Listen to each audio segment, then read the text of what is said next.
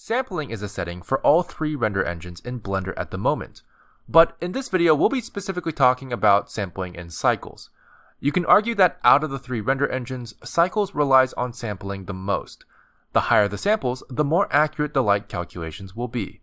But instead of explaining it, let's just demonstrate this real quick. If we go into our Cycles render engine, we can play around with the sample settings. For the sake of demonstration, let's bring the render samples down to something low, Let's say 10. Now we can render out a test image by going to the render menu and selecting render image. Or you can press F12.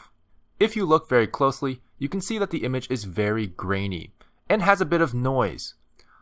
Now what I want to do is preserve this render so I can compare it to the new render I'm about to make with some tweaked settings.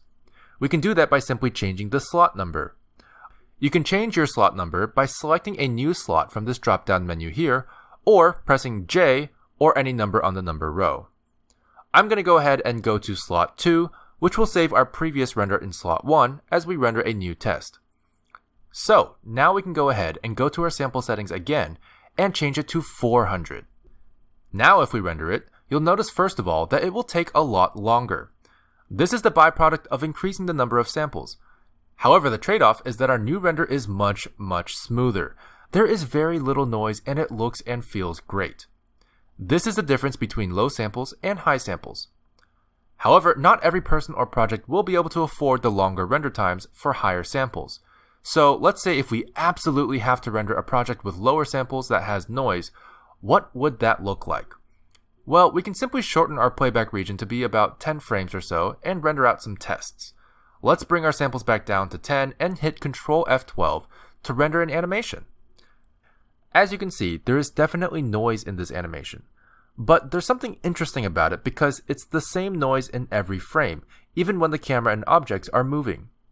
This can be a bit jarring and very distracting in animations, but there is a value under the advanced options called seed.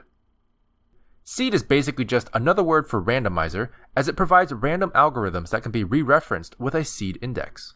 But anyway, this seed is what drives the random pattern of our noise in our render. If you prefer not to have the same pattern of noise in every frame of your render, simply press the clock next to the seed value.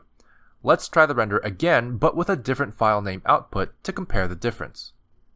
As you can see, the noise is now different for every frame, giving it a more natural look even if it's grainy.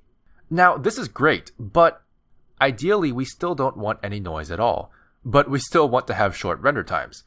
Believe it or not, this is actually possible with the denoiser. Cycles actually comes with a denoising function that will help remove a lot of the noise left over from lower sample renders. This setting is not actually located in the render settings, but rather in the view layer settings. Simply go there and scroll to the very bottom to check the denoising checkbox. Naturally, there are more settings under the denoising checkbox that you can tweak if necessary, but default settings work pretty great already. Sampling is a very important part of the Cycles workflow, and hopefully this video helps you understand it enough to get started with making your renders even better.